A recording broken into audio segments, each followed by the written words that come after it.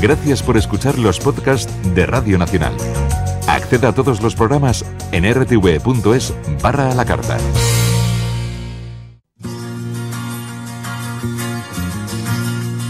En la década de los 70 se estrenó en España la ópera rock Jesucristo Superstar, protagonizada por Camilo VI, un auténtico fenómeno de masas que originó mucho revuelo en los estamentos del franquismo. 40 años después de aquel polémico estreno, verá la luz un documental de aquel hito en la historia del musical español y lo hará con material inédito y testimonios de protagonistas. Un trabajo audiovisual que está siendo dirigido por Marta García Sarabia. Marta García Sarabia, además de dirigir el documental, es musicóloga y autora del libro Jesucristo Superstar. Buenos días, Marta. Hola, muy buenos días. ¿En qué punto se encuentra la elaboración de ese documental? ¿Qué es lo que falta para terminar? Bueno, pues ahora mismo solamente nos falta el estreno, que es el próximo 18 de junio en el Palacio de la Prensa, y la edición, la edición para su correspondiente distribución.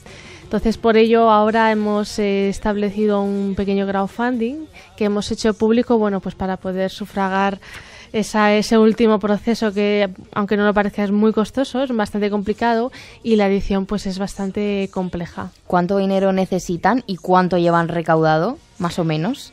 Pues ahora solamente necesitamos 6.000, 6.000 euros para poder afrontar el estreno, la edición y distribución y ya vamos por más de la mitad. Entonces vamos, vamos bien. Yo doy muchas gracias a todos los mecenas, de verdad que son, sin ellos evidentemente es imposible porque al fin y al cabo ellos aportan el último granito de arena y estamos muy contentos por la respuesta que estamos teniendo. ¿Qué cuenta el documental? Bueno, pues el documental cuenta, cuenta absolutamente todo. Eh, el musical de Jesucristo Superstar estaba totalmente olvidado a nivel, a nivel histórico porque toda la parte patrimonial estaba perdida, nadie se había preocupado de, de rescatarla y mucho menos de estudiarla. Entonces, a raíz de publicar el libro, paralelamente, pues estábamos trabajando en ese, en el documental, porque tenemos la suerte de que todos los protagonistas, la gente que intervino, incluso artistas que de alguna manera se vieron muy vinculados a ese musical, eh, siguen a día de hoy en activo y eso había que recogerlo de alguna manera a través de un documental, rescatar todas esas fotografías que estaban perdidas, todos los informes de la censura que estaban tirados en los archivos y lo más importante, no había ninguna y no hay ninguna grabación oficial de ese del Jesucristo Superstar de Camilo VI. Entonces me parecía fundamental hacer un rescate de esas imágenes porque es muy complicado, sobre todo por ejemplo para mí o para gente eh, que no vivió en el 75 ese musical, ver cómo era y de qué manera trascendió y, abrió las puertas a, otros musicales. ¿Cuál fue su importancia? Su importancia radica en, muchos puntos. La primera fue mm, la primera macroproducción que llegó de Broadway también es muy importante el, momento histórico en el que se en el que se había en el que se había estrenado. Estábamos hablando de que en aquel momento la censura estaba eh, cohibiendo la libertad de ese musical y de otras muchas expresiones artísticas no solamente a nivel musical. Y de qué manera ese Jesucristo Superstar eh, abrió a todas las vanguardias a nivel artísticas y a nivel musicales y se hizo posible eh, de que todo, todo empresario, todo productor, incluso el público, se diese cuenta de que en España también teníamos la misma capacidad para hacer producciones de, de ese calibre. ¿A qué problemas eh, se han enfrentado? ¿Cómo ha sido esa operación de rescate, de buceo, para intentar encontrar todo ese material que estaba disperso o prácticamente inexistente era? Pues fue muy complicado, yo sufrí muchísimo, fueron muchos años de trabajo. ¿De qué hilo tiró? Pues tiré primero de teléfono. primero tiré de teléfono. Yo comencé realmente a, investigar, primero desde la universidad, en 2012, 2013, ya estamos en 2018. Entonces, eh, yo una vez que registré eh, la, la tesis me di cuenta que no había absolutamente nada. Entonces había dos opciones o directamente eh, intentar de alguna manera llegar a sus protagonistas, Camilo Sesto, Ángela Garrasco, o mm, buscarse la vida y, tirarse a la piscina directamente. Tuve la gran suerte de que eh, uno, de, uno de los representantes eh, mm, confió muy bien en mí, acogió muy bien el proyecto y él fue la persona que se encargó de, dirigirme a las personas correctas. Y fue pues empezar a tirar de uno de otro y me di cuenta de que ellos eran quienes tenían todos esos archivos y esos materiales. Además que en, bibliotecas, en archivos eh, públicos, o estaban perdidos o estaban desaparecidos o directamente tirados. Entonces eh, fue un proceso muy duro, muy complejo y que han sido cinco o seis años de, de trabajo y de seguir escarbando en el propio trabajo.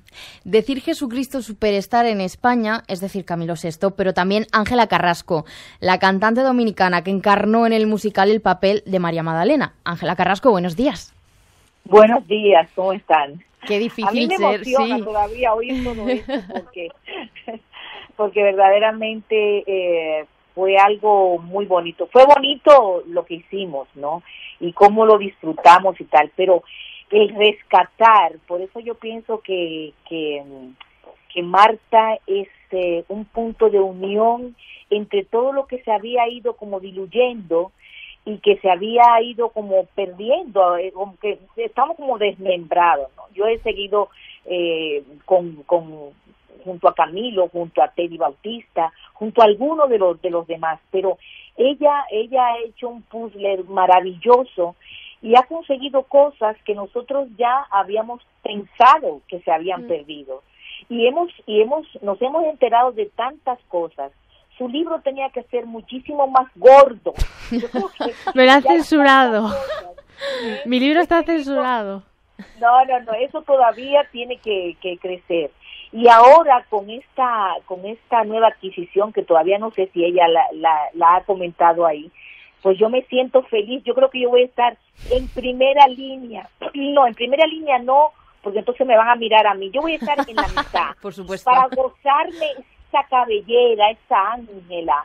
esa- estoy feliz, estoy contentísima y me siento súper orgullosa de, de haber colaborado con ella en todo lo que ella necesitó y sobre todo en lo que todo lo que quiera. Todavía faltan cosas. Ángela, ¿fue difícil Sí. ser María Magdalena? ¿Eh? Dime. ¿Fue duro? ¿Fue difícil ser Ma- María Magdalena en esa época?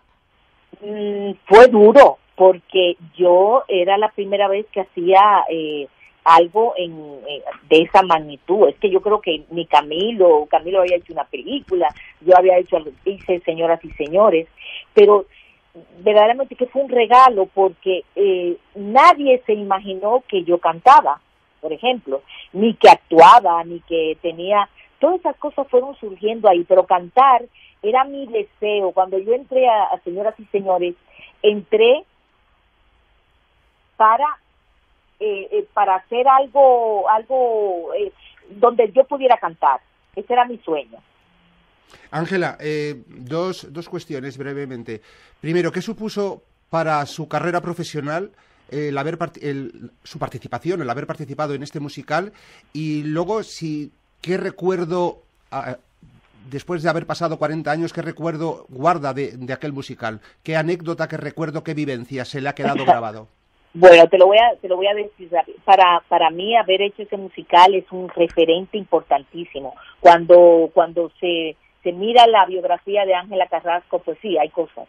Pero Jesucristo Superstar y la primera vez que se hacía en español, eh, la primera vez que que salía desde desde Londres, todo el dinero que, que supuso esta esta inversión, eh, el que los los ingleses y, y quiero decir los au- au- autores de eso dijeran que era mejor que lo que la, la puesta en escena mejor de, la, de, de los personajes, todo eso para mí es importante. Hablar de Jesucristo Superstar, eh, pues tiene implícita el nombre de Ángela Carrasco haciendo María Magdalena. Y después, después de estos 40 años, que yo creo que ya son un poquito más, eh, pues son 40 y 43 ya, eh, yo pienso que está vigente. Yo nunca había visto tanta gente hacer Jesucristo Superstar en todos los países. Latinoamérica está llena de gente eh, que está representando Jesucristo Superstar. Y aquí en, en España,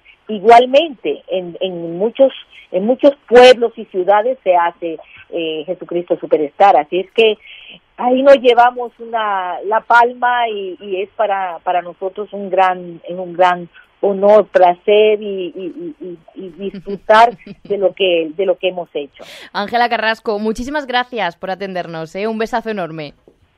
Besitos a todos, a Marta sobre todo eh, gracias, te tengo que, bueno, yo no quiero decir esas cosas porque entonces, además es tan joven que te da rabia.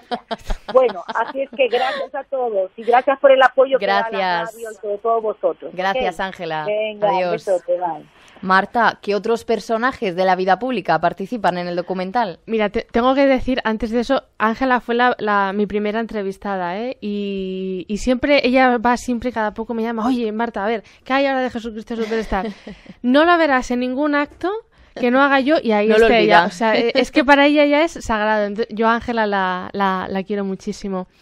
¿Qué más personajes eh, aparecen en el documental? Pues aparte de todo el elenco artístico, pues también está Juan Echanove, un actor que le ha influido muchísimo el personaje, el, el musical. Está Javier de Montini, el padre Ángel, desde su perspectiva más, eh, más eclesiástica. Está María José Cantudo, eh, está Yvonne Blake, la directora de la Academia de Cine. Mm, Paula Braira, eh, Leo Jiménez, o sea, Jesucristos más contemporáneos, pero que también bebieron de esa primera producción de Camilo VI. Eh, ¿Quién más hay ahora mismo? Que- y creo que ya están todos así de, de artistas que, que de alguna cuándo lo manera veremos ya? ¿Cuándo lo veremos El y dónde? 18, El el 18. 18 de junio en el Palacio de la Prensa. Ahí estaremos todos y, y los artistas también. Pues Marta García Sarabia, impulsora de este documental. Muchísimas gracias y mucha Gracias suerte a con ti. el proyecto. Hasta luego. Hasta luego.